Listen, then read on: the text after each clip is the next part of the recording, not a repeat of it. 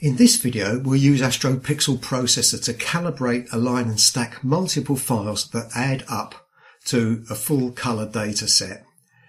As we saw in the previous video, APP is very easy to use when co-adding multiple files. Once again, I'll use APP in its automatic mode as this is the ideal way for people starting out with the program. For this tutorial, I'll be using an uncharacteristically short data set of the wonderful Trifid Nebula, or M20 in Sagittarius. I used the Telescope Live 20-inch Chile 2 reflecting telescope in Chile to capture the data and because M20 is so bright I took just two 5 minute exposures for the luminance channel and two 10 minute exposures for each of the RGB channels. As we'll be working with just one session, I'll disable the multi-session processing option. Because we are using sub-exposures that were shot through four filters, we'll leave the multi-channel filter processing option ticked this time. Let's start off by loading this data. As always, I've copied all the sub-exposures into a single directory as it's easier to keep track of everything that way. Note here that the Telescope Live data has already been calibrated at source, so we don't need to use any calibration frames in this procedure. Once loaded, the images are visible in the file window at the bottom of the screen. APP has conveniently applied colour coding to each of the files, making it easy to see which filters we've used. We can now jump straight to the Integrate button. Check that the integrate option is set to automatic, which is actually the default setting. The very top drop list contains three choices. I'll go through them one at a time. Integrate per channel. If this is chosen, APP will analyse the FITS header of each image and ascertain the filters used for each sub-exposure. The FITS header contains a lot of relevant information about an image's characteristics. For example, it will contain the length of the exposure, the temperature of the sensor, time and date, and a whole host of other useful information that you can refer to at any time. To view the FITS header, we click on one of the sub-exposures so it's visible in the viewing pane and then select Header Metadata from the tabs at upper left. Now all the image parameters are visible. Scroll down the menu and check that the correct directory is chosen using the Set Save Directory button and then click Integrate. APP will analyse the files and then, using its automatic setting, provide the best stacking parameters for the images. When completed, the file list will be populated with four new images consisting of stacked master frames for each of the filtered data sets. Looking at the file list, we can see that APP has applied Analyze Stars, Registration and Normalize to the sub-exposures and also populated the other columns in the file list. Note that APP has chosen the Light 5 luminance frame to be used as the master reference image for the others to be aligned to by colouring it dark grey. To view any of the master frames, just click on them in the file list.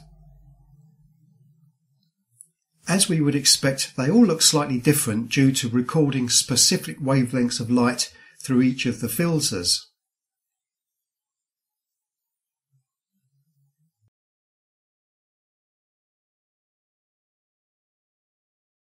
Now we'll look at the second option. I'll start from scratch and reload the individual sub-exposures. We'll choose Integrate All from the Integrate tab's top drop list. What will happen now is that APP will carry out its automated stacking routine exactly the same as before, but this time it will create just a single master image that is made up from all of the sub-exposures. You might be wondering why we would do this. Well, there is a very good reason why. When it has finished the processing, APP will have created what we can call a superluminance frame. In this case, it will appear in the file list called integration 1 blue, green, luminance, red. It's a perfectly viable procedure to use, especially if working with a small data set like this. By combining the data taken through all filters, we can create a very strong image that can be used as a standard luminance master frame that can then be combined with the RGB master images.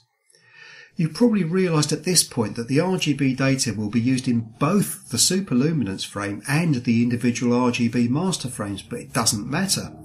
The end result will be better than using a standard luminance frame to create an LRGB image.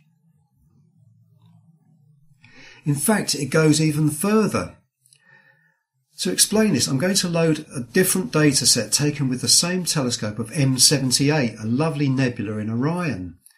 Once again, this is another short data set consisting of just three 10 minute luminance frames, three 10 minute sets for the blue and green filters, and just two 10 minute sub exposures for the red filter. I remember being hugely disappointed when I viewed the luminance frames as two out of the three were badly affected by very bright satellite trails. I found that if I created a superluminance frame using all the data, the rejection parameters used when stacking in APP produced a master frame that was totally clear of the offending satellite trails. You can see that they have been totally removed. The rejection routine works much better when the image dataset is large and of course, stacking all the files creates a much stronger luminance frame that is then combined with the colour master frames. So far so good, but now we can explore the third option in the integrate drop list. First I'll reload the M20 colour frames.